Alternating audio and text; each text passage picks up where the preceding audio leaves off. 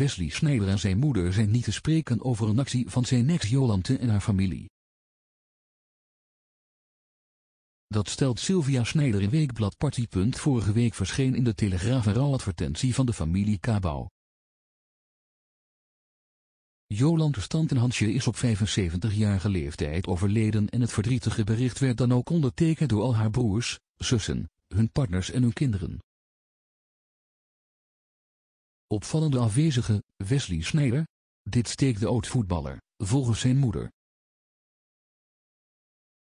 Ik vind het werkelijk respectloos om de naam van Wesley er niet bij te zetten, zegt Sylvia in Party. Het lijkt er inderdaad sterk op dat dit bewust is gedaan. Ik heb er gewoon geen woorden voor. Alsof mijn zoon tante Hansje niet zou hebben gekend. Hij kende haar al tien jaar. Punt Wesley heeft uiteraard zijn condolences aangeboden bij de nabestaanden, verduidelijkt zijn moeder. Dat zijn naam ontbrak op de rouwadvertentie heeft zeker zijn hart geraakt. Dat is toch logisch? Het is gewoon niet netjes.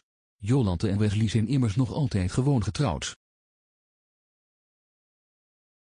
Punt Sylvia zegt dat haar band met Jolante nog altijd hecht is, maar voor wat hier is gebeurd heeft ze geen goed woord over.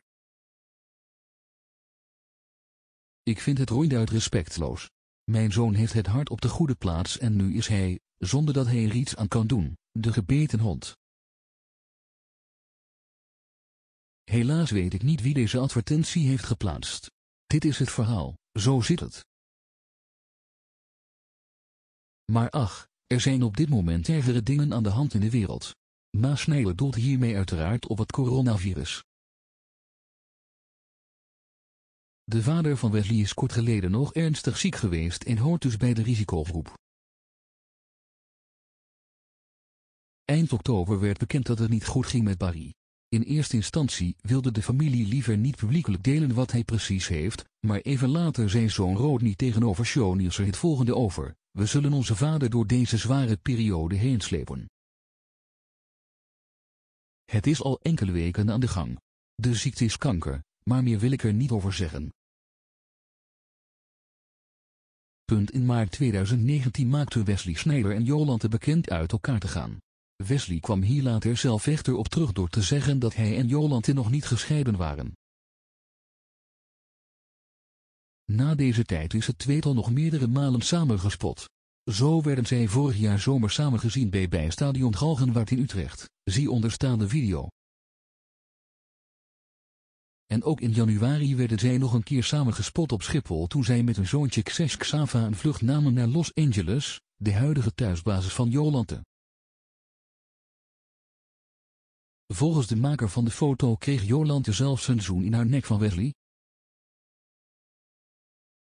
Het management van Jolante liet Shownieuws daarop weg te weten, Jolante en Wesley zijn uit elkaar, aan de situatie is niets veranderd.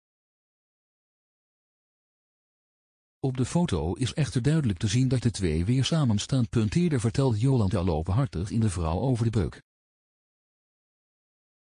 Afgelopen jaar was een van de moeilijkste jaren uit mijn leven.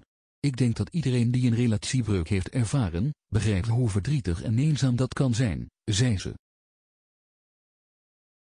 Het was dan ook vooral haar zoontje Xava, 4, die haar door deze tijd heen sleepte.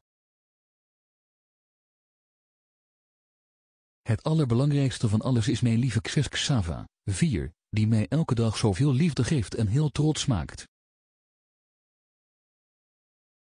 Ik vind het bijzonder dat ik elk moment mag meemaken van hoe hij groeit en leert.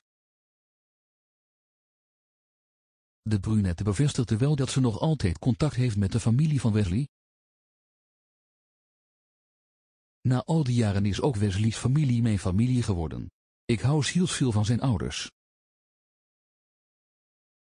Voor de opvang van haar vierjarige zoontje Xis Xava tijdens tv-opnames kan ze rekenen op de ouders van Wesley, zei ze toen nog.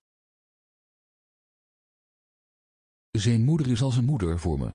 Wat er ook gebeurt, die liefde zal nooit verdwijnen.